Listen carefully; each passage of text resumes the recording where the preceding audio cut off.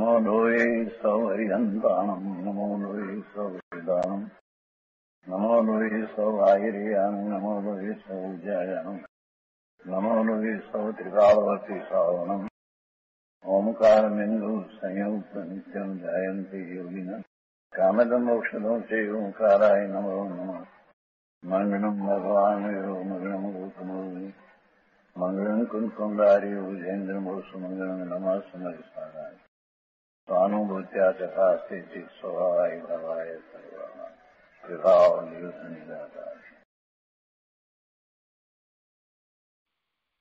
સમયસાર ભગવાન કુમકુંદાચાર્ય રચિત સમયસાર તથા ભગવાન અમૃતચંદ્રાચાર્ય રચિત આત્મખ્યાતિ ટીકા કળશ સહિત એનો સ્વાધ્યાય ચાલે છે એમાં બંધ અધિકારમાં ગાથા બસો બોતેરનો સ્વાધ્યાય આપણે કરી રહ્યા છીએ. ગાથા બસો બોતેર નો ગાથાર્થ અને ટીકા કર્યા છે. હવે આગળ ભાવાર્થ લઈએ. ભાવાર્થ લેતા પહેલા ગાથાર્થનું સહેજ પુનરાવર્તન કરીએ. અમૃતચંદ્રાચાર્ય ભગવાને આ ગાથાની પહેલા કળશ એકસો તોતેરમાં આ ગાથાની સૂચના તો આપી દીધી હતી. એ જ વાત અહીંયા કુમકુંદાચાર્ય ભગવાને કરી છે કે પૂર્વોક્ત રીતે, પહેલા જે રીતે વાત થઈ છે તે પ્રમાણે એ રીતે પર આશ્રિત એવો વ્યવહાર નહીં. નિશ્ચય નય વડે નિષિદ્ધ જાણ. નિશ્ચય નયને આશ્રિત મુનિઓ નિર્વાણને પામે છે. નિશ્ચય નય વડે આ સઘળો વ્યવહાર છે તેને નિષેધવામાં આવ્યો અને બીજી વાત સાથે એમ પણ કરી કે નિશ્ચય નયને આશ્રયે જ મુનિઓ નિર્વાણને પામે છે. કેવળ જ્ઞાન પ્રગટ કરે છે અને પછી નિર્વાણને પામે છે. અહીંયા ભાવાર્થમાં કહે છે, આત્માને પરના નિમિત્તથી જે અનેક ભાવો થાય છે, તે બધા વ્યવહાર નયના વિષય હોવાથી વ્યવહાર નય તો પર આશ્રિત છે. અને જે એક પોતાનો સ્વાભાવિક ભાવ છે તે જ નિશ્ચય નયનો વિષય હોવાથી નિશ્ચય નય આત્મા આશ્રિત છે. પરનું લક્ષ કરતા જે ભાવ થાય છે એ બધા અધિવસાનોને ત્યાગવાની વાત તો અગાઉ આવી ગઈ.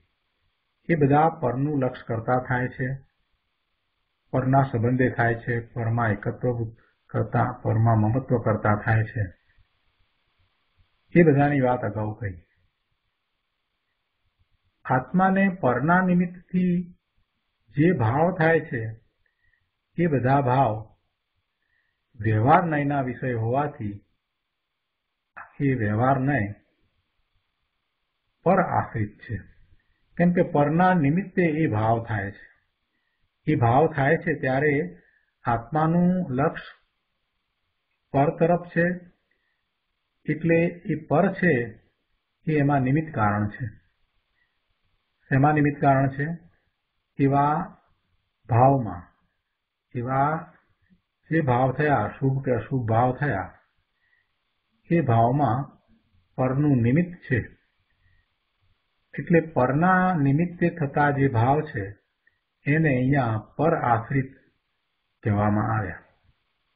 આત્માને પરના નિમિત્તથી જે અનેક ભાવ થાય છે, આપણે સવારે ઉઠીએ ત્યાંથી શરૂ કરી અને રાત્રે સૂઈ જઈએ ત્યાં સુધીમાં આત્માનું લક્ષ્ય તો થતું જ નથી. એટલે જે ભાવ થાય છે, એ બાહ્યમાં પરના નિમિત્તે જ થાય છે. એ બધા ભાવ, એ વ્યવહાર નયના વિષય હોવાથી એ પર આશ્રિત છે. એટલે વ્યવહાર નય પર આશ્રિત છે. અને જે એક પોતાનો સ્વાભાવિક ભાવ છે, પોતાનો શુદ્ધ ભાવ છે, પોતાનું જેવું સ્વરૂપ છે, એવો ભાવ છે, એ જ સ્વના આશ્રય થાય છે એટલે નિશ્ચય નયનો વિષય હોવાથી એ આત્મા આશ્રિત છે. નિશ્ચય નય છે તે આત્મા આશ્રિત છે. કેમ કે એ સ્વાભાવિક ભાવ છે, એ આત્માના આશ્રય થાય છે. જે આત્માને આશ્રય થવા વાળો ભાવ છે, એ જ નિશ્ચય નય છે.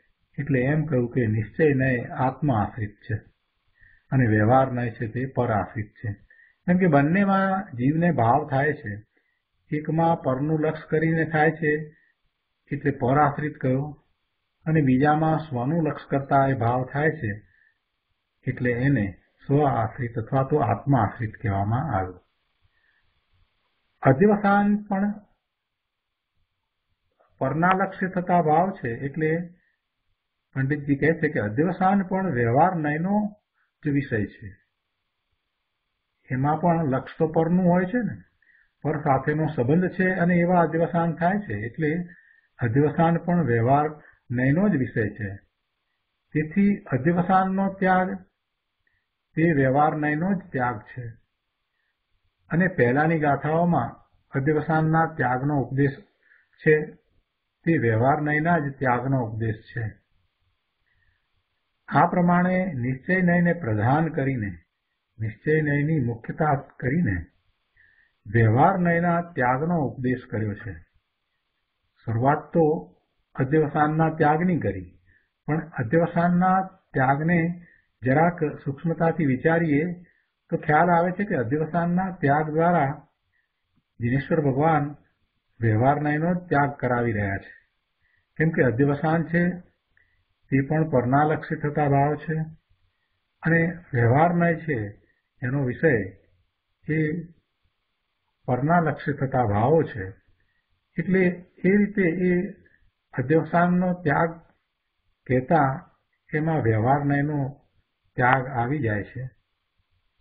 અને એવો ઉપદેશ દિનેશ્વર ભગવાનની વાણીમાં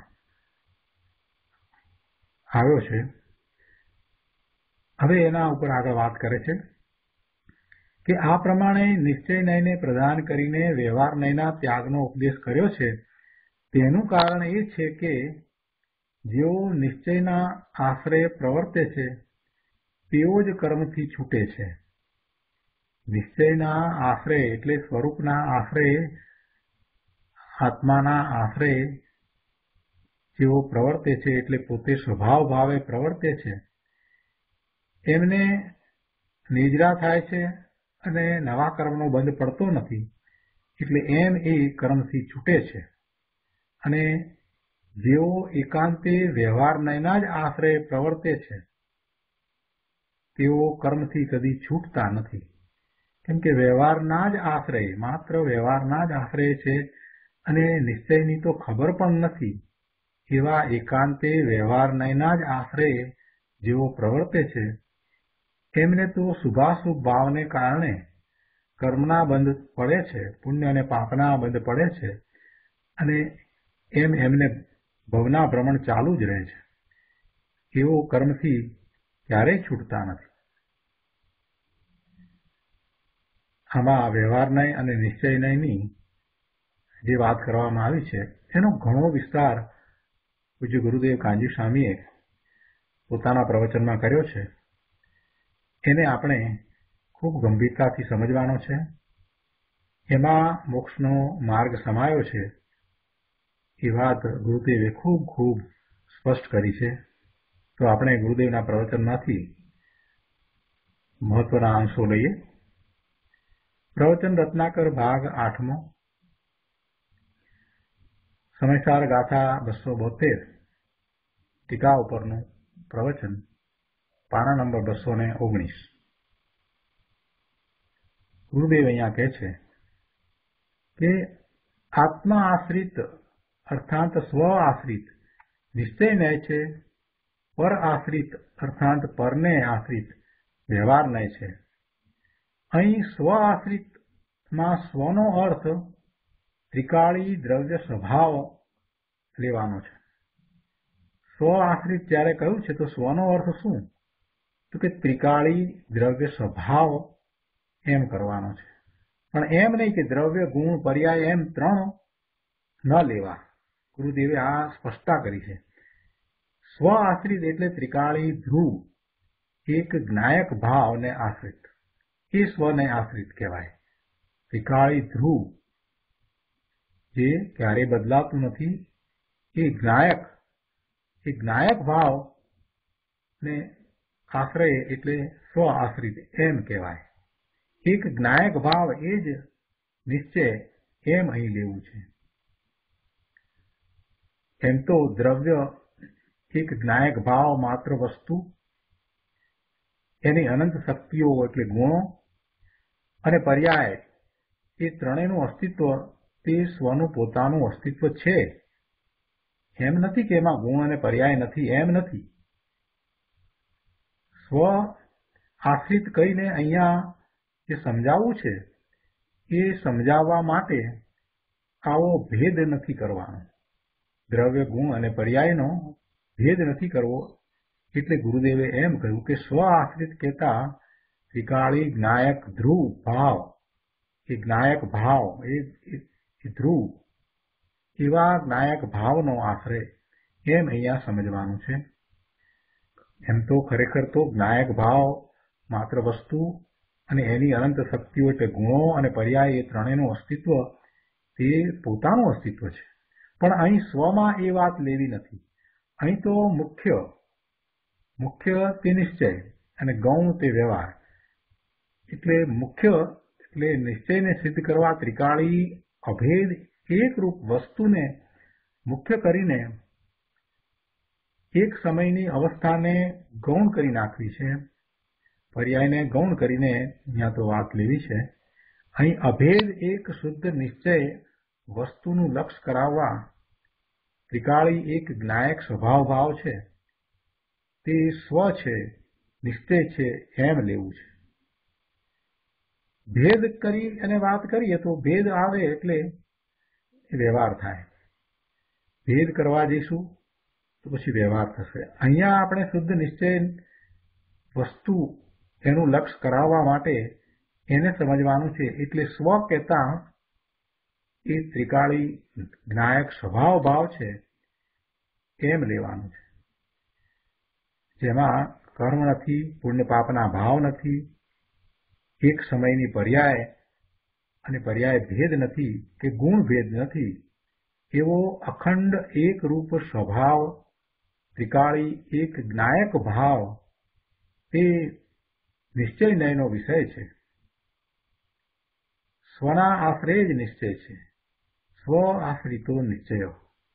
સ્વનો આશ્રય કરનારને સંકિત થાય છે. અહીંયા સમ્યક દર્શન જે ધર્મનું પહેલું પગથિયું, એ ધર્મ કેવી રીતે થાય એની વાત ચાલે છે. જેમ જૈન દર્શનના પ્રાણ સમી ગાથા અગિયારમાં આવ્યું ને, કે ઉદત્તમ સીદો ખલુ સમા ઇઠ્ઠી અવય જીવો નિર્મળ આનંદનો નાથ ત્રિકાળી ધ્રુવ એક જ્ઞાયક ભાવમય વસ્તુ પ્રભુ આત્મા જ ભૂતાર્થ છે સત્યાર્થ છે અને એના આશરે જીવ સમ્યક દ્રષ્ટિ થાય છે। એમ એમાં આવ્યું ને? આ વાત કરી એટલે કોઈએ પ્રશ્ન કર્યો કે હવે આમાં અમારે કેટલું યાદ રાખવું? એમાં તમે એ વાત કરી કે એક નાયક સ્વભાવી સત્યાર્થ પ્રભુ, ભૂતાર્થ છે, સત્યાર્થ છે, એ જ નિશ્ચય છે. એનો આશ્રય કરીને અને પર્યાયને ગૌણ કરીને અને એને વ્યવહાર કહીને આ બધી વાત તમે કરી, પણ હવે એમાં અમારે કેટલું યાદ રાખવું? આ તો બધું અઘરું પડે છે. બસો વીસમાં પાના પર આવો એક પ્રશ્ન કર્યો કે હવે આમાં કેટલું યાદ રાખવું? પોતાના લાભની વાત છે અને યાદ રાખવાનું આવ્યું, એટલે પછી કંટાળો આવ્યો. બેંકના ખાતામાં કેટલા પૈસા છે ને કેટલા પ્રકારના ખાતા છે ને કેટલી ફિક્સ ડિપોઝિટ છે અને કેટલું શું છે, કેટલા પ્રકારે ઇન્વેસ્ટમેન્ટ છે ને કેટલા સ્ટોક છે, એ બધું યાદ રાખવાનું હોય તો. એમાં વાંધો નથી. અને અહીંયા બે વાત યાદ રાખવાની આવી. નિશ્ચય અને વ્યવહારની અને એકને ગૌણ કરવો અને બીજા ને મુખ્ય કરવો ને એ જે બધી વાત કરવામાં આવી હોય ત્યારે અહીંયા એને મુશ્કેલી પડે છે. અરે જીવ, તારે ક્યાં સુધી ભ્રમણ કરવા છે? ગુરુદેવ તો શાંતિથી સમજાવે છે કે ભાઈ, આ એક જ યાદ રાખવું છે કે ત્રિકાળી અભેદ, જેમાં કોઈ ભેદ પડતા જ નથી. જો ભેદ તો સમજાવવા માટે, ભેદ છે એ તો સમજાવવા માટે છે. ભેદ દ્વારા સમજાવવું છે, અભેદને સમજાવવું છે, તો એ સમજાવી શકાય કેવી રીતે? જે વસ્તુ એક સાથે છે, એ બધી વસ્તુને સમજાવવી હોય ત્યારે તો ક્રમમાં જ સમજાવવી પડે ને. એટલે પછી ભેદ પાડીને સમજાવવામાં આવે છે. કઈ વસ્તુનું સ્વરૂપ ભેદ સ્વરૂપ છે જ નહીં. ભગવાન આત્મા તો અખંડ જ છે. અનંત ગુણનો પિંડ કયો એટલે એમાં અનંત ગુણ અને ગુણની વાત કરીએ એટલે ગુણનું પરિણમન અને એની પર્યાયને આ બધું સમજાવવા બેસીએ તો પછી એમાં ભેદ પડે છે અને એ ક્રમમાં એક પછી એક સમજાવી શકાય. ભલે વસ્તુ અખંડ છે અક્રમે રહ્યા છે ગુણ. છતાં એને સમજાવવા હોય ત્યારે પછી વાત કરવી હોય તો એક ગુણની પહેલા વાત કરીએ, પછી બીજા ગુણની વાત કરીએ, એમ જ વાત તો આવે ને. ખરેખર કઈ ત્રિકાળીમાં ભેદ નથી. ત્રિકાળી એટલે કે ભગવાન આત્મા જે ત્રણેય કાળે એક સરખું એવું ને એવું રહે છે, એની અંદર કોઈ ભેદ તો છે નહીં. એક જ્ઞાયક ભાવ માત્ર વસ્તુ આત્મા એ અભેદ છે અને તે જ ખરેખર હું છું એ યાદ રાખવાનું છે. ગુરુદેવ કહે છે કે ભાઈ આ એક જ યાદ રાખવું છે કે ત્રિકાળી અભેદ, ત્રણેય કાળે જે જે અભેદ છે, અખંડ છે, એવો એક જ્ઞાયક ભાવ માત્ર વસ્તુ એટલે આત્મા, તે જ ખરેખર હું છું. અને જે ભેદ અને પર્યાય છે, તે બધો વ્યવહાર છે. તે પર્યાય છે, એ પરિણમનને કારણે છે અને એ બદલાતું વસ્તુ છે, એ અનિત્ય છે, એ ક્ષણિક છે. અને આ ભેદરૂપ જે વાત કરવામાં આવી એ બધી સમજાવવા માટે કહેવામાં આવી, એ બધો વ્યવહાર છે.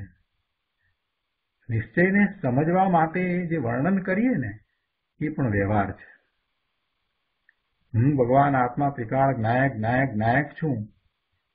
એમ જ્યારે કહેવામાં આવે અને એવા વિકલ્પમાં રહીએ, તો એ પણ નિશ્ચય સ્વરૂપમાં ઠરવારૂપ જે નિશ્ચય છે, શુદ્ધ સ્વરૂપમાં ઠરવારૂપ જે ખરેખર નિશ્ચય છે, એ નિશ્ચયની અપેક્ષાએ એ વિકલ્પ છે, એ પણ વ્યવહાર છે. પોતાના સ્વરૂપમાં ઠરવારૂપ જે નિશ્ચય છે, એની અપેક્ષાએ હું ત્રિકાળી જ્ઞાયક છું, એવો વિકલ્પ છે, એ પણ વ્યવહાર છે. એટલે માત્ર યાદ તો આ જ રાખવાનું છે, પોતે કોણ છે? બીજું કાંઈ યાદ રાખવાની જરૂર નથી. ગુરુદેવનું એમ અહીંયા કહેવું છે કે આ એક જ યાદ રાખવાનું છે કે કે ત્રણેય કાળ અભેદ, એક જ્ઞાયક ભાવ, માત્ર વસ્તુ, આત્મા, તે જ ખરેખર હું છું અને જે આ ભેદ અને પર્યાય છે તે બધો વ્યવહાર છે. ભાઈ, એ સર્વ વ્યવહારને અભૂતાર્થ કહીને, અભૂતાર્થ, ભૂતાર્થ અને અભૂતાર્થની વાત અગિયારમી ગાથામાં આવી ને? ભૂતાર્થ છે તે સત્યાર્થ છે, અભૂતાર્થ છે તે આરોપિત છે. અભૂતાર્થ. પહેલેથી છે જ નહીં. કેમ કે એનું સ્વરૂપ જ ક્ષણિક સ્વરૂપ છે. એનું સ્વરૂપ અખંડ સ્વરૂપ નથી. એમાં ભેદ પડે છે. એટલે એવો સઘળો વ્યવહાર એ અભૂતાર્થ છે. એટલે એ અભૂતાર્થ કહીને ભૂતાર્થ એક સ્વ સ્વરૂપનો આશ્રય કરાયો છે. એક સ્વ સ્વરૂપ જ સત્ય છે. બાકી આખું જગત પર્યાય ભેદ અને ગુણ ભેદ સુદ્ધા એમાં આવી જાય.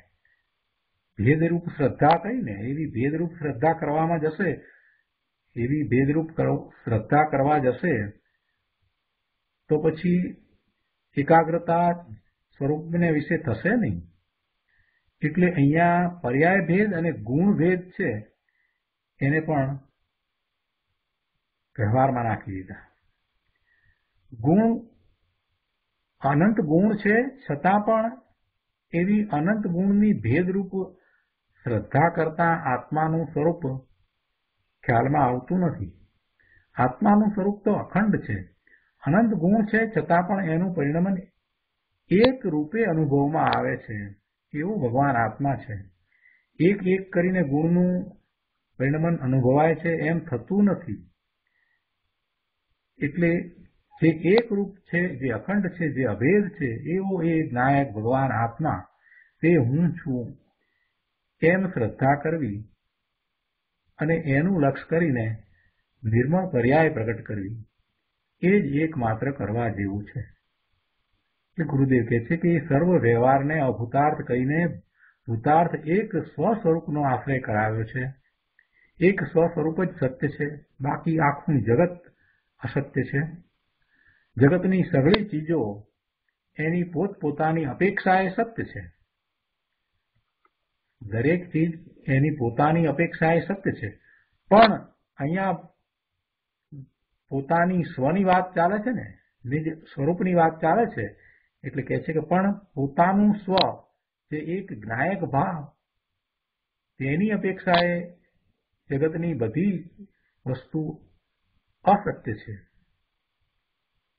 ત્રિકાળી સતની અપેક્ષા એના ગુણભેદ અને પર્યાય પણ અસત છે. કેમ કે ભેદ રૂપ શ્રદ્ધા થશે તો સ્વરૂપમાં જવાશે જ નહીં. ત્રણેય કાળ જે એક રૂપ અખંડ રહેવા વાળું તત્વ છે, એ જ્ઞાયક છે, એને અહીંયા સત કીધું, એનું અસ્તિત્વ એવું ને એવું સદાય રહે છે. એવા ભગવાન આત્માને ભેદરૂપ જાણવો, એમાં અનંત ગુણ છે, એવો પણ એમાં ભેદ કરવો કે એની પર્યાય, ગુણ, દ્રવ્ય અને પર્યાય એમ એનું સ્વરૂપ જાણવું, તો એને પણ એ ત્રિકાળી સત જે ધ્રુવ છે, એની અપેક્ષાએ એને વ્યવહાર કહી દીધો, અસત કહી દીધું. વસ્તુ છે, વસ્તુ નથી એમ નથી, પર્યાય પણ છે. પર્યાય નથી એમ નથી. છતાં પણ લક્ષ્ય સ્વરૂપનું કરાવવું છે, એટલે અખંડ એક અભેદ વસ્તુનું લક્ષ કરાવવા માટે એને અપેક્ષાથી વ્યવહાર કહેવામાં આવ્યો ગુરુદેવ એ વાતને અહીંયા બહુ સરસ રીતે સમજાવે છે. કે છે કે બાકી આખું જગત અસત્ય છે. જગતની સઘળી ચીજો એની પોત પોતાની અપેક્ષાએ સત્ય છે.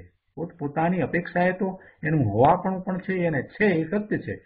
પણ અહીંયા જ્યાં ભગવાન આત્મા નિજ સ્વરૂપની વાત આવી, તો કહે છે કે પણ પોતાનું સ્વ જે એક જ્ઞાયક ભાવ, એવા એક જ્ઞાયક ભાવની અપેક્ષાએ એ બધી જગતની બધી ચીજ, બધી એ અસત્ય છે. ત્રિકાળી સતની અપેક્ષાએ એના ગુણભેદ અને પર્યાય પણ અસત છે. અહીં આત્મા આશ્રિત પહેલા શબ્દનો અર્થ ચાલે છે. આપણે તેની વાત કરી રહ્યા છીએ. ગુરુદેવ કહે છે કે આપણે આત્મા આશ્રિત એમ જે શબ્દ પડ્યો છે ને, એ એનો અર્થ કરી રહ્યા છીએ. એનો અહીંયા વિસ્તાર કરી રહ્યા છીએ. આત્મા આશ્રિત એટલે શું? આત્મા આશ્રિત શું છે ને કેવી રીતે છે? એનો આ બધો વિસ્તાર ચાલી રહ્યો છે. આત્મા આશ્રિત એટલે સ્વ આશ્રિત એટલે કે ત્રિકાળી એક જ્ઞાયક ભાવને આશ્રિત નિશ્ચય છે. એ ધ્રુવ નિત્યાનંદ પ્રભુનો આશ્રય કરનારી તો પર્યાય છે. એનો આશ્રય કરનારી પર્યાય છે. પણ એ પર્યાયને પર્યાયનો આશ્રય નથી, પણ નિત્યાનંદ પ્રભુ ધ્રુવનો આશ્રય છે. એ પર્યાય પર્યાયના આશ્રય પ્રગટ નથી થઈ. એ પર્યાય ધ્રુવના આશ્રય પ્રગટ થઈ છે. એને ધ્રુવનો આશ્રય છે. જે પર્યાય નિર્મળ પરિણામ થયા એવી નિર્મળ પર્યાય થઈ છે, એ ધ્રુવના આશ્રય થઈ છે. ધ્રુવનું લક્ષ કરતા એનો આશ્રય કરતા એ નિર્મળ પર્યાય થઈ છે.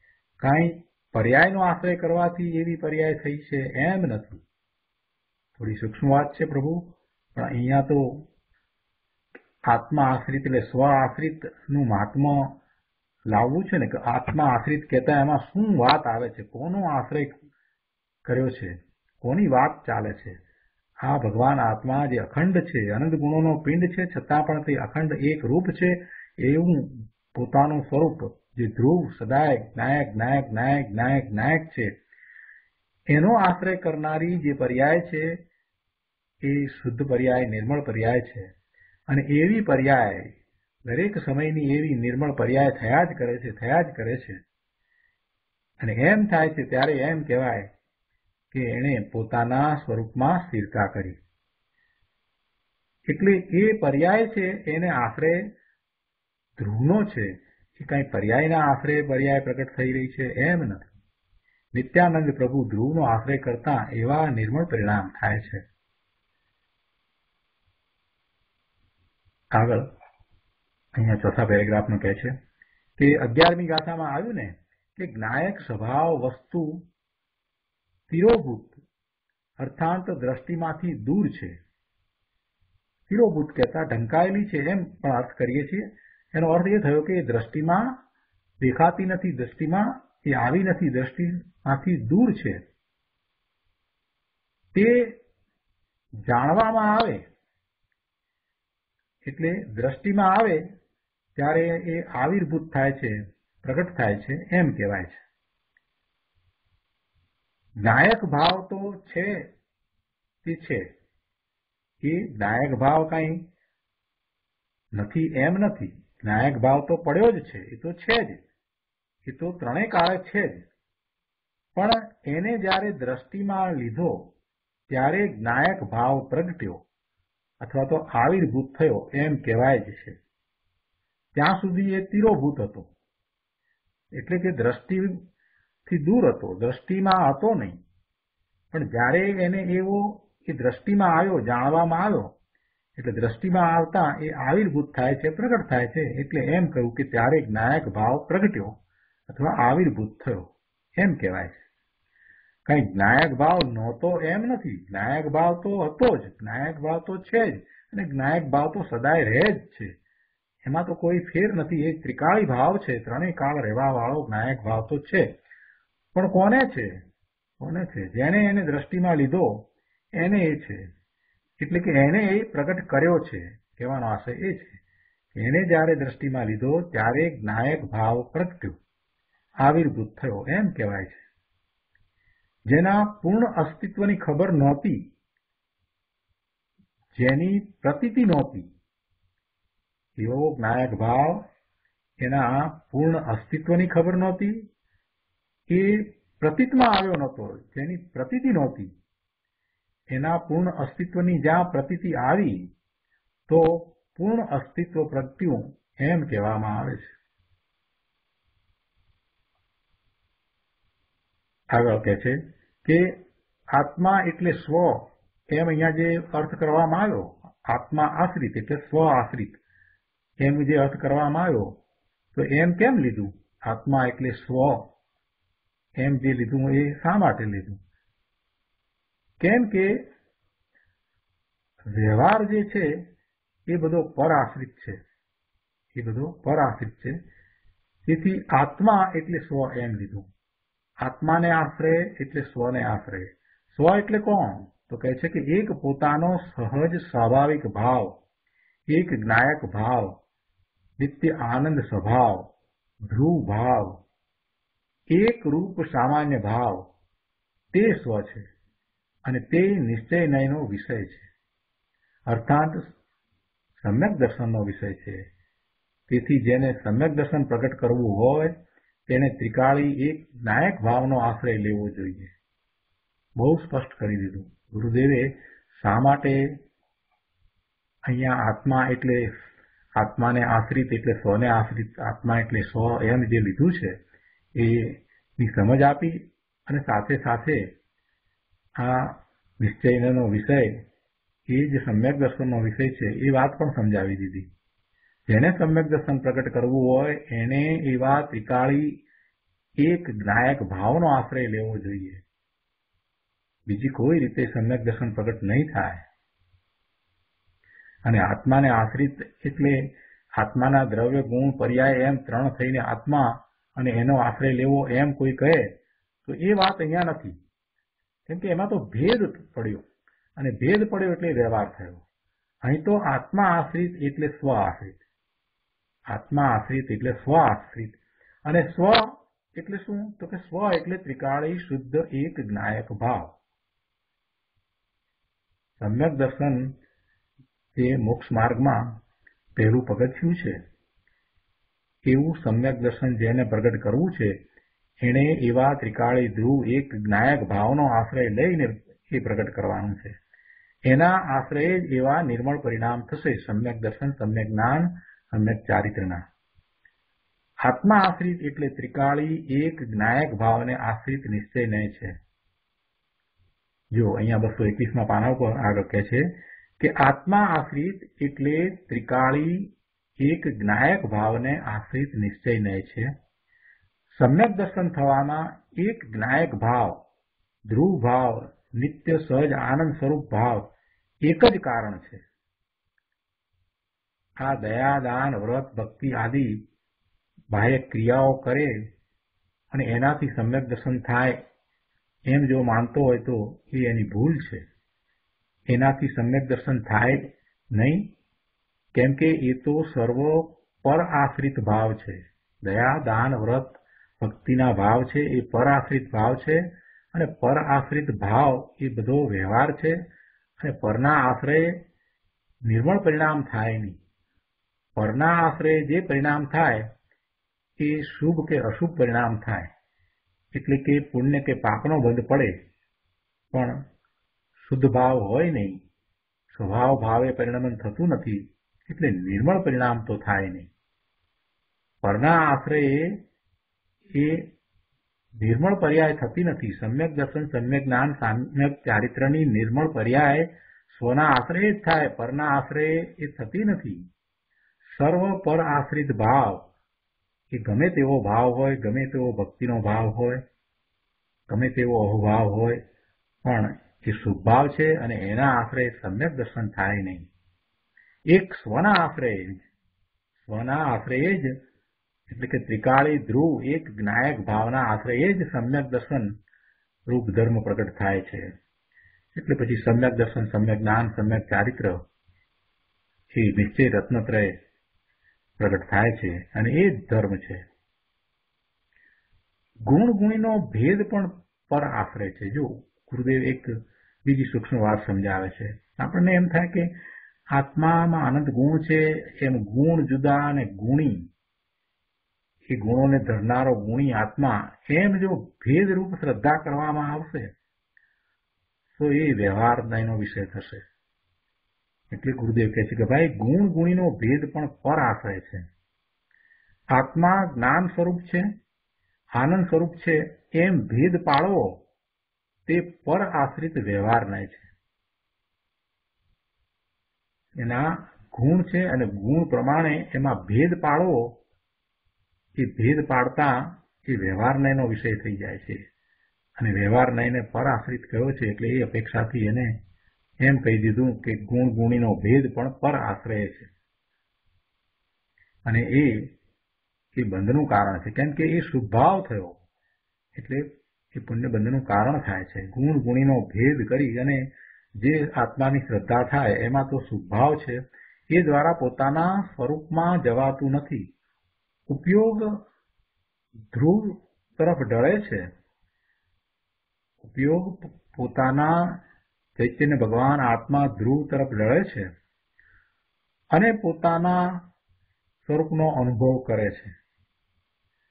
એવું છે ત્યારે પછી એમાં જો ભેદરૂપ શ્રદ્ધા કરવા જશે, તો એકાગ્રતા થઈ શકશે જ નહીં. ઉપયોગમાં એ ભેદ પાડશે કે આત્મા જ્ઞાન સ્વરૂપ પણ છે, આત્મા આનંદ સ્વરૂપ પણ છે, આત્મા સુખ સ્વરૂપ પણ છે, આત્મા શાંતિરૂપ પણ છે. એમ જ્યારે એ ભેદ રૂપ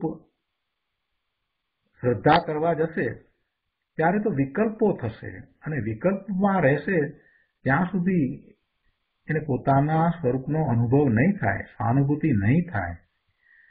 જે કંઈ કહેવામાં આવે છે, સમજાવવામાં આવે છે, એ બધો સમગ્ર વ્યવહાર જ છે, બીજું કાંઈ નથી. અને વ્યવહાર દ્વારા જ નિશ્ચય સમજાવી શકાય. એ ગાથા પણ અગાઉ આવી ગઈ છે. વ્યવહાર દ્વારા જ નિશ્ચયને સમજાવવામાં આવે છે. પણ એ સમજાવવા માટે જે વ્યવહાર નો આશ્રય લેવામાં આવ્યો છે એવા આશ્રય દ્વારા સ્વરૂપની પ્રાપ્તિ નથી થતી. વ્યવહારનો આશ્રય કરીને નિશ્ચયને સમજાવવામાં આવે પણ વ્યવહારના આશ્રય સ્વરૂપની પ્રાપ્તિ ન થાય. આ વાત પણ અગાઉ આવી ગઈ છે.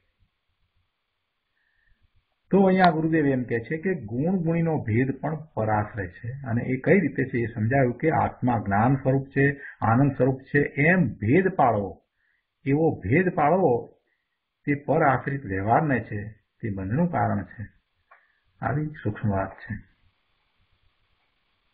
અહીંયા બસો એકવીસમાં પાના ઉપર ચોથા પેરેગ્રાફમાં ગુરુદેવ કહે છે કે આ કોઈ બીજાની વાત નથી, આ કાંઈ કોઈના ઘરની વાત નથી. આ કોઈએ કહેલી કોઈની વાત છે એમ નથી. આ તો ત્રિલોકીનાથ, દેવાધિદેવ સર્વજ્ઞ પરમાત્માએ દિવ્ય ધ્વનિમાં જે કહ્યું તે તેમના કેળાયતી સંતો કહે છે. સંતો આ વાણી લાવ્યા છે. ઓમકાર ધ્વનિ સાંભળી અને કુંકુંદાચાર્ય ભગવાન અહીંયા આવ્યા અને આ શાસ્ત્રની રચના કરી છે.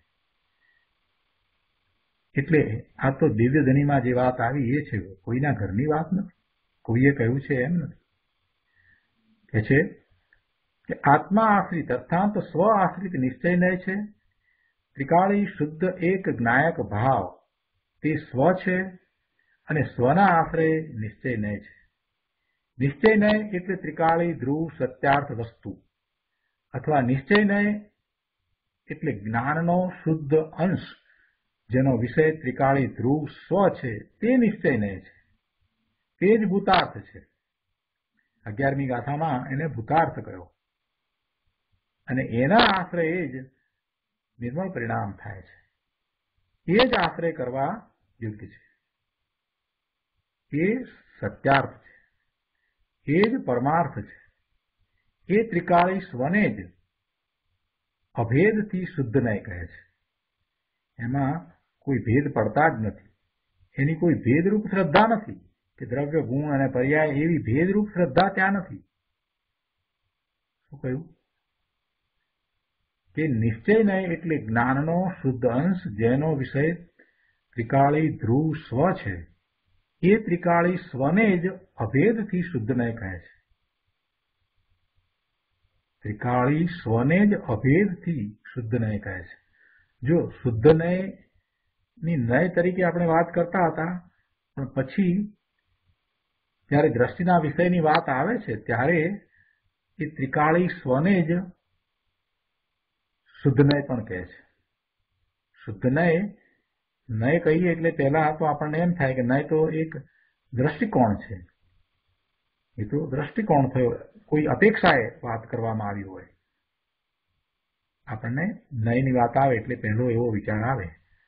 પરંતુ શુદ્ધ નયની વાત, શુદ્ધ નયનો વિષય એ બધી વાત કરવામાં આવી હોય. ત્યાર પછીથી અપેક્ષાથી એને એમ પણ કહેવામાં આવે કે જે ત્રિકાળી સ્વ છે જે ભેદ વિનાનો છે, અભેદ છે, એ જ શુદ્ધ નય છે. એમ પણ કહેવામાં આવે છે. અગાઉ પણ એ વાત આવી ગઈ છે. સિદ્ધાનંદ ગન પ્રભુ આત્મા જ પોતાનું પરમ સ્વ છે અને તેને જ અભેદથી શુદ્ધ નય કહે છે. નિશ્ચય નય છે, એ જ શુદ્ધ નય છે, એ જ ભૂતાર્થ છે. તે એકના જ આશ્રય સમ્યક દર્શન આદિ ધર્મ થાય છે. આવી વ્યાખ્યા છે. માણસને અભ્યાસ ન હોય એટલે એને અઘરી પડે. અભ્યાસ હોય એને કાંઈ અઘરું નથી. અને એકની એક વાતને ગુરુદેવે હજારો વખત સમજાવી છે. જરાક એમાં ઊંડો ઉતરે તો એને સમ્યક દર્શન થાય એવું છે. એટલી બધી સમજ આપી છે ગુરુદેવે. કે થોડોક પુરુષાર્થ કરે ને તો પણ બધું સહેલાઈથી સમજાઈ જાય. એની દ્રષ્ટિ બદલાઈ જાય.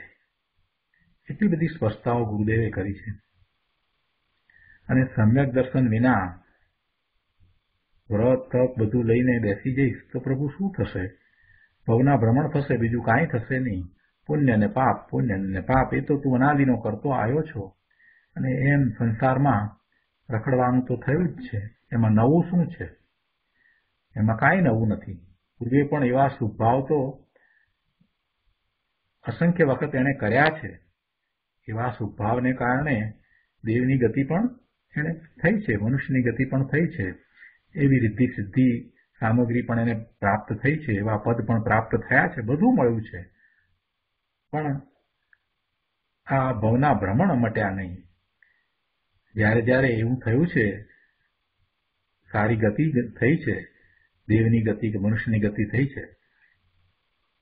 ત્યારે પછી ત્યાંથી નીકળીને પાછો એ તિરિંતમાં પણ ગયો છે. ત્યાંથી નીકળીને પાછો તિરિંતમાં પણ ગયો જ છે. અનંતકાળ તો એને પહેલા એકેન્દ્રીમાં વિતાવ્યો નિત્યની ગોદમાંથી નીકળી અને પછી કેટલો બધો સમય સુધી એને આ ભટકવાનું થયું છે.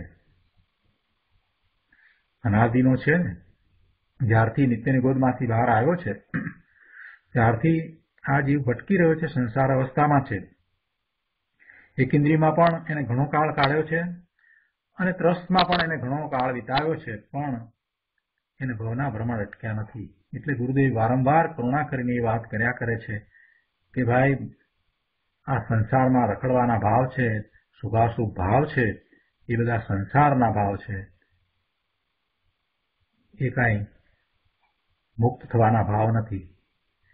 કે છે કે અરે અનંત કાળમાં એને સ્વસ્વભાવ જે પૂર્ણ જ્ઞાન આનંદ સ્વભાવથી ભરેલો જ્ઞાયક જ્ઞાયક જ્ઞાયક એવો ત્રિકાળી, એક સામાન્ય ભાવ, જેને પરમ પારિણામિક ભાવ કહે છે, તેને જાણ્યો નહીં. અનંતવાર એણે દિગંબર મુનિ થઈને પંચ મહાવ્રત આદિ પાળ્યા, પણ સ્વસ્વભાવના આશરે આત્મજ્ઞાન પ્રગટ કર્યું નહીં. તેથી એને લેશ પણ સુખ પ્રાપ્ત નથી થયું. સંસાર પરિભ્રમણ જ ઊભું રહ્યું છે. બસો બાવીસના પાના પર અહીંયા બીજા પેરેગ્રાફમાં કહે છે કે ઉત્પાદ વ્યય ઉત્તમ સત્ત એ તત્વાર્થ સૂત્રનું સૂત્ર છે.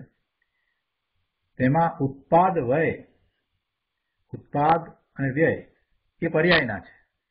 એટલે ઉત્પાદ છે એ પણ પર્યાય છે વ્યય છે, એ પણ પર્યાય છે, એ અવસ્થા છે. ઉત્પાદ વ્યય એ પર્યાય છે, એ અવસ્થા છે. અને દ્રવ્ય એ ત્રિકાળી ધ્રુવ જ્ઞાયક ભાવ છે. ઉત્પાદ એટલે મિથ્યાત્વના વ્યયપૂર્વક. સમ્યક દર્શનની પર્યાય લઈએ તો એનું આશ્રયરૂપ કારણ ત્રિકાળી એક જ્ઞાયક ભાવ છે. સમ્યક દર્શનની પર્યાય લઈએ, એનો ઉત્પાદ થયો એમ આપણે જો લઈએ, તો એમ કહી શકાય કે મિથ્યાત્વનો વ્યય થયો અને સમ્યક દર્શનની પર્યાયનો ઉત્પાદ થયો. તો એનું કારણ શું છે? તો કે એમાં એનું આશ્રયરૂપ કારણ તો ત્રિકાળી જ્ઞાયક ભાવ જ છે. ત્રિકાળીનો આશ્રય કરતા એને મિથ્યાત્વનો વ્યય અને સમ્યક દર્શનનો ઉત્પાદ થયો. એક જ્ઞાયક ભાવના આશ્રય જ સમ્યક દર્શન થાય છે. પણ એને તો વ્રત, તપ, જાત્રા આદિ કરવાની પાછળ પોતાનો સમય વિતાવી દીધો અને એક પોતાનો ધ્રુવ સ્વભાવ છે, જ્ઞાયક ભાવ છે, એનો આશ્રય ન કર્યો. બીજું બધું કર્યું. જે કરવાનું હતું એ જ ન કર્યું. પર આશ્રિત રાગમાં ધર્મ માનીને ભાઈ તું સંતુષ્ટ થાય પણ ધર્મનું એવું સ્વરૂપ નથી. ધર્મ તો એક વિતરાગ ભાવ જ છે અને તે વિતરાગ ભાવ સ્વ આશરે જ પ્રગટ થાય છે. ગુરુદેવ કરુણા કરી અને આપણને સમજાવે છે કે ભાઈ, તું આ શુભભાવમાં ધર્મ માનીને સંતોષાઈ ગયો છે ને? પણ જરાક વિચાર કર, ધર્મનું કાંઈ એવું સ્વરૂપ નથી. શુભભાવ એ પુણ્યબંધનું કારણ છે, એ મુક્તિનું કારણ નથી. ધર્મ તો વિતરાગ ભાવ છે. આ જે શુભાશુભ ભાવ અને જે કસાયોમાં તું રાચી રહ્યો છે ને, એનાથી તારે મુક્ત થવાનું છે. એ કસાયથી રહિત થવાનું છે. એવા પરના લક્ષ્ય થતા ભાવો તને ઉત્પન્ન જ ન થવા જોઈએ. એમ તને એ વિતરાગતા પ્રગટ થાય છે? અને એ બધું માત્ર સ્વના આશ્રયે જ પ્રગટ થાય છે. આગળ અહીંયા કહે છે કે ત્યાં પૂર્વોક્ત રીતે પર આશ્રિત સમસ્ત અધ્યવસાન, અર્થાત પોતાના અને પરના એકપણાની માન્યતા પૂર્વક પરિણમને એને બંધનું કારણ હોવાને લીધે હવે આ વાતને ગુરુદેવે સમજાવી છે અને કહે છે કે જે ભાવ છે ને કે પરને હું જીવાડું ને પરની રક્ષા કરું ને પરને સુખી કરું ને એ બધા અધ્યવસાન છે એ બધા અધ્યવસાન એમાં પર સાથેના એકપણાની માન્યતા રૂપ જે પરિણમન થાય છે, એ બધું બંધનું કારણ છે. એ બધું બંધનું કારણ છે. અહીંયા તો નિશ્ચયની વાત છે. અહીંયા તો નિશ્ચયની વાત છે ને એ જ સત્ય વાત છે. પરદ્રવ્યની ક્રિયા હું કરી શકું એ માન્યતા જે પર આશ્રિત મિથ્યા દર્શન છે ને એ બંધનું કારણ છે. એટલે ફરી પાછો પહેલાની જેમ જ કોઈએ ફરીથી પ્રશ્ન કર્યો કે તો પરજીવની દયા પાળવી કે નહીં? અને દુઃખી દરિદ્રીઓને આહાર ઔષધના દાન દેવા કે નહીં? પછી પરના લક્ષ્ય થતો એ ભાવ શું કરવું? એનું એવો અને એનો ઉત્તર અનેક વાર અપાઈ ગયો છે. ફરીથી પણ ગુરુદેવે એવો જ ઉત્તર આપ્યો છે કે ભાઈ, ખરેખર હું તું પરજીવની દયા પાળી શકતો જ નથી. માન્યતા તું એવી કરે, પણ એ તો મિથ્યાત્વ છે. પરજીવ તો એ એના પોતાના આયુષને કારણે જીવે છે. અને આયુષને કારણે જીવે છે એમ કહીએ, ત્યાં પણ આયુ કર્મ છે એ તો નિમિત્ત કારણ છે. પોતાની યોગ્યતાથી એ જીવી રહ્યો છે. પોતાની યોગ્યતાથી એ શરીર સાથે રહ્યો છે. એમાં આયુષ કર્મનો ઉદય એનો છે તો એ નિમિત્ત કારણ છે. આ બધી વાત અગાઉ પણ આવી ગઈ છે.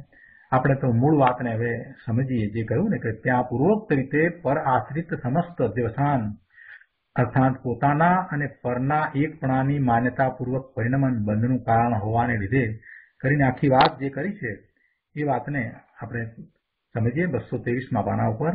ત્રીજા પેરેગ્રાફમાં કહે છે કે ત્રિલોકીનાથ વિતરાગ સર્વજ્ઞ દેવની વાણી સંતો તેના આડતિયા થઈને જગત સમક્ષ જાહેર કરે છે, કહે છે કે પરમા એકપણાની માન્યતા રૂપ પરિણમન બંધનું કારણ હોવાને લીધે. પરમા એકપણાની માન્યતા, પરમાં પોતાપણાની માન્યતા, શરીરમાં પોતાપણાનો ભાવ, પોતાપણાની શ્રદ્ધા, પોતાપણાની માન્યતા કે આ શરીર એ મારું છે, શરીર રૂપે હું છું, હું મનુષ્ય છું, શરીર સામું જોઈ અને એ માને છે. હું મનુષ્ય છું એમ માનવું એ પણ મિથ્યાત્વ છે. કેમ કે પોતે ભગવાન આત્મા છે અને આત્માને કોઈ મનુષ્યપણું પણ નથી કે દેવપણું પણ નથી. એટલે એ હું મનુષ્ય છું એમ માનવું એ એ પરમા એકપણાની માન્યતા છે. જે પર્યાય છે એની અંદર, જે પર્યાય પોતાની નથી, મનુષ્યની તો પર્યાય. એ કાંઈ પોતાનું સ્વરૂપ નથી, એમાં એકપણાની માન્યતા. આ શરીર એમાં પોત, એ એકપણાની માન્યતા. શરીર એટલે આ મારું શરીર, એ રૂપે હું છું એવી માન્યતા. એમ પરમા એકપણાની માન્યતા રૂપ જે પરિણમન છે, એ બંધનું કારણ હોવાને લીધે ભગવાને મુમુક્ષુ અર્થાત આત્માના શુદ્ધ પરિણમનની જેમને અભિલાષા છે એવા એ મુમુક્ષુઓ, તેમને પોકાર કરીને કહ્યું છે કે પરની એકતા બુદ્ધિ છોડી દે. હું બીજાને જીવાડું છું, સુખી કરું છું, આહાર, ઔષધ આદિ આપું છું, ઇત્યાદિ મિથ્યા ભાવ રહેવા દે. કેમ કે એ બધી પરની ક્રિયા તો પરમાં પરના કારણે થાય છે. એને આત્મા કરી શકતો નથી. એને આત્મા કરી શકતો નથી. આગળ છઠ્ઠા પેરેગ્રાફમાં, છેલ્લા પેરેગ્રાફમાં કહે છે કે જેમ પરની એકતા બુદ્ધિ જુઠ્ઠી છે, કેમ કે સ્વ અને પર બે એક નથી, એટલે પરની એકતા બુદ્ધિ છે એ જુઠ્ઠી છે. પર અને સ્વ એક હોઈ શકે નહીં. પર અને સ્વ એ બે એકરૂપ થઈ શકે નહીં. છતાં એને એવી માન્યતા છે કે પોતે શરીર રૂપે છે. પણ ખરેખર એ માન્યતા જુઠ્ઠી છે, ખોટી છે. સ્વ અને પર એકરૂપ થઈ શકતા જ નથી. આત્મા અને શરીર એકરૂપ થઈ શકે જ નહીં. એને માન્યતા હોય એથી કરીને સત્ય કાંઈ અસત્ય રૂપ થોડુંક થઈ જાય. સત્ય શું છે? તો કે સ્વ અને પર બંને એકરૂપ થાય જ નહીં. શરીર અને આત્મા એકરૂપ હોય જ નહીં. અને જો શરીર અને આત્માને એકરૂપ માનવામાં આવે, તો એવી એકતા બુદ્ધિ એ જુઠ્ઠી છે, ખોટી છે, એવી શ્રદ્ધા છે તે મિથ્યા શ્રદ્ધા છે. કેમ કે સ્વ અને પર બે એક નથી. અને તેથી ભગવાને તેનો નિષેધ કર્યો છે. તેથી આચાર્ય મહારાજ કહે છે કે અમે માનીએ છીએ કે ભગવાને પર આશ્રિત વ્યવહાર જ સઘળો નિષેધ્યો છે. માત્ર એ અધ્યવસાનોનો જ નિષેધ કર્યો છે, પરના આશ્રય થતા અધ્યવસાન જેમાં એને પર સાથેની એકત્વ બુદ્ધિ છે, એનો જ નિષેધ કર્યો છે, એમ નહીં. અમે તો એમ માનીએ છીએ કે દિનેશ્વર ભગવાને એ એનો નિષેધ કરવા દ્વારા, એટલે કે અધ્યવસાનોનો નિષેધ કરવા દ્વારા ખરેખર તો પર આશ્રિત સઘળોય વ્યવહાર નિષેધ્યો છે. પર સાથેની એકતા બુદ્ધિ નિષેધીને ભગવાને પરના આશ્રય થતા બધાય ભાવોનો નિષેધ કર્યો છે. પરના આશ્રય થતા બધાય ભાવો છે, એનો ભગવાને નિષેધ કર્યો છે, નિષેધ્યા છે. આ દયા, દાન, વ્રત, પૂજા, ભક્તિ ઇત્યાદિના ભાવ બધા પર આશ્રિત છે. એ ભલે શુભ ભાવ રહ્યા, પણ પર આશ્રિત છે માટે એનો નિષેધ કર્યો છે. કેમ કે જેમ પરદ્રવ્યની એકતા બુદ્ધિમાં પરનો આશ્રય છે, તેમ દયાદાન આદિ અસ્થિતાના સુગ્રાગ ભાવોને પણ પરનો આશ્રય છે. બંનેમાં પર આશ્રિતપણું સમાન જ છે. જેમ પેલા અધ્યવસાનની વાત લીધી, તો એમાં એમ કહ્યું ને કે એકત્વ બુદ્ધિ છે, તો એવા એકત્વ બુદ્ધિરૂપ અધ્યવસાન પર આશ્રિત છે, તેવી જ રીતે આ શુભ દયાદાન, વ્રત, તપ આદિ જે શુભ વ્યવહાર, એ પણ પર આશ્રિત જ છે. એ વ્યવહારનો વિકલ્પ છે, તે પણ પર આશ્રિત જ છે અને તેથી તે પણ નિષિદ્ધ જ છે. એ પણ ભગવાને નિષેધ્યો જ છે. દેવ કહે છે, અહીંયા બસો ચોવીસમાં પાના ઉપર કે આવું છે છતાં પણ કોઈક વળી કહે છે કે શુભ ભાવથી વ્યવહારથી લાભ થાય અને ધર્મ થાય. અરે ભાઈ, જેનાથી લાભ થાય, એનો નિષેધ શું કરે? જો લાભ થતો હોય, તો પછી એનો નિષેધ કરવામાં આવે? નિષેધ કરવામાં આવ્યો છે, એટલે કંઈક સમજીને નિષેધ કરવામાં આવ્યો હશે ને ભાઈ, તને નથી સમજાતું. તને તીર્થંકર ભગવાનની વાણીમાં આવેલું સત્ય તને નથી સમજાતું. માટે તું જેમ અર્થ કરે એમ થોડા થઈ જાય. એનું કારણ તારે સમજવું જોઈએ ને. જેનો, જેનાથી લાભ થાય એનો કાંઈ નિષેધ તો કરવામાં આવે નહીં. આ આચાર્ય ભગવાને એ નિષેધની વાત કરી છે, તો એનાથી લાભ થતો હશે અને નિષેધની વાત કરી હશે. એવું તો બને નહીં. જેનાથી લાભ થાય એનો નિષેધ શુક્રા કરે. સુખભાવથી જો લાભ થતો હોય આત્માને, તો પછી એનો નિષેધ કરે જ નહીં. તો તારી સમજવામાં ક્યાંક ભૂલ થાય છે ભાઈ? તું ફરીથી સમજ. શુભભાવ સગળો પરાશ્રિત હોવાથી બંધનું જ કારણ છે માટે એ જ્ઞાની પુરુષોએ એનો નિષેધ કર્યો છે. એનાથી લાભ નથી થતો. આ વાત કરી એટલે કોઈએ પ્રશ્ન કર્યો કે તો શું ધર્મી પુરુષને શુભભાવ હોય જ નહીં? અહીંયા વાત શેની ચાલે છે? અને પ્રશ્ન કેવો કર્યો? વાત તો ચાલે છે આ શુભભાવથી લાભ નથી થતો, એના નિષેધની વાત ચાલે છે. અને પ્રશ્ન કર્યો કે તો શું ધર્મી પુરુષને શુભભાવ હોય જ નહીં? અરે ભાઈ, હોય છે. ધર્મી પુરુષને, જ્ઞાની પુરુષને પણ સાધક અવસ્થામાં એને પણ એવા શુભભાવ હોય છે.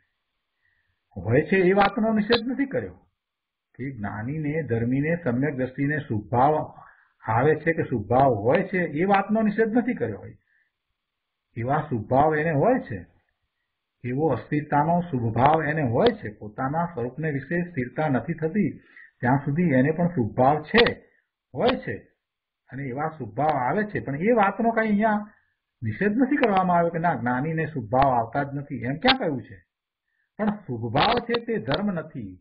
સુભભાવ દ્વારા મુક્ત સ્વરૂપની પ્રાપ્તિ નથી થતી. જો શુભભાવ દ્વારા મુક્ત સ્વરૂપની પ્રાપ્તિ થતી હોત તો શુભભાવનો નિષેધ ન કરત. શુભભાવ દ્વારા બંધની જ પ્રાપ્તિ થાય છે. એટલે શુભભાવનો નિષેધ કરવામાં આવ્યો છે. શુભભાવનો નિષેધ એટલા માટે કર્યો છે. એ બંધનું કારણ છે, માટે નિષેધ કર્યો છે. અને એવો શુભભાવ જ્ઞાનીને હોય છે, એ વાતની ના નથી કહી. એ વાતનો નિષેધ કર્યો નથી. એક સરસ રીતે તર્ક દ્વારા ગુરુદેવે અહીંયા એ વાતને સમજાવી છે કે ભાઈ હોય છે ને? હોય છે એનો નિષેધ કર્યો છે? હોય છે એનો નિષેધ થાય ને, શુભ ભાવ હોય તો પછી એનો નિષેધ કરવાનો પ્રશ્ન આવે ને. જ્ઞાનીને પણ શુભ ભાવ હોય છે. અને હોય એટલે જ નિષેધ કરવાનો થાય ને. ન હોત તો પછી માં નિષેધ કરવાનો પ્રશ્ન જ ઉપસ્થિત ન થાત. શુભ ભાવ જ્ઞાનીને પણ હોય છે અને જ્ઞાનીને સમ્યક દ્રષ્ટિને પણ એ વાત સમજાવી છે કે ભાઈ, તું શુભ ભાવનો સત્વરે નિષેધ કરીને તું શુદ્ધ ભાવમાં રહેવાનો જ પુરુષાર્થ કર. એવો ઉપદેશ જ્ઞાનને પણ આપ્યો છે. આ ગાથા જ એની છે. આચાર્ય ભગવાને આશ્ચર્ય વ્યક્ત કર્યું છે કે આ આ સત્પુરુષો પોતાના સ્વરૂપને વિશે આ સમગ્ર વ્યવહારને છોડીને કેમ સ્થિર થતા નથી? એવી રીતે તો એમણે આશ્ચર્ય વ્યક્ત કર્યું છે. એટલે આ સુભાવ એમને છે અને સુભાવ છે એટલે જ પછી નિષેધ કરવાનો પ્રશ્ન ઉપસ્થિત થયો. સુભાવ તો હોય છે, જ્ઞાનીને પણ હોય છે. એટલે કે છે કે હોય છે ને? હોય છે એનો નિષેધ કર્યો છે ને, ન હોય તો એનો નિષેધ ક્યાંથી કરત? ન હોય એનો શું નિષેધ કરવો? આત્મજ્ઞાની, ધ્યાની, પ્રચુર આનંદમાં ઝૂલનારા, સાચા ભાવલિંગી મુનિરાજને પણ કે જ્યારે પોતાના સ્વરૂપમાંથી બહાર આવે છે, ત્યારે એમને પણ મહાવ્રત આદિના વિકલ્પ આવે છે. એટલે કે બાહ્યમાં પોતાનું જે ચારિત્ર છે, અઠ્યાવીસ મૂળ ગુણ સહિત નગ્ન દિગંબર, દ્રવ્યલિંગ છે એની સભાનતા બારમાં આવે છે ત્યારે હોય છે. સ્વરૂપમાં છે, ત્યારે તો બારમાં શું ચાલી રહ્યું છે એ તરફ લક્ષ જ નથી. પણ એમને પણ એવા મહાવ્રતના વિકલ્પ હોય છે. પણ તેમાં મુનિરાજને એ ઉપાદેય બુદ્ધિ નથી. એમાં એમને તો હે બુદ્ધિ હોય છે છોડવા લાયક છે. છોડવા લાયક એટલે શું? ચારિત્ર, બાહ્ય ચારિત્ર છોડવા લાયક એમ નહીં. એ વિકલ્પ એ વિકલ્પ એની સભાનતા છે, એ છોડવા લાયક છે એમ. જો ઊંધા અર્થ ના કરવા. શું કહ્યું? સાચા ભાવલિંગી મુનિરાજને પણ પાંચ મહાવ્રત આદિના વિકલ્પ આવે છે. પણ તેમાં મુનિરાજને હે બુદ્ધિ હોય છે. શેમાં? એવા વિકલ્પ છે. એને બધનું કારણ જાણે છે. અને શુદ્ધ નિશ્ચયના ઉગ્ર આશ્રય વડે તેનો, એટલે કે એવા સુભાવનો એવા વિકલ્પનો નિષેધ કરી દે છે. સંકિતિને પણ જે દેવ ગુરુ શાસ્ત્રની શ્રદ્ધાનો શુભરાગ હોય છે, તે પર આશ્રિત હોવાથી તેનો નિષેધ કરવામાં આવ્યો છે. બહુ સ્પષ્ટતા કરી દીધી. આનાથી વધારે શું સ્પષ્ટતા થાય? તો આજનો સ્વાધ્યાય આપણે અહીંયા સુધી રાખીએ છીએ. બાકી રહેલા શેષ અંશો આવતા સ્વાધ્યાયમાં આપણે લઈશું.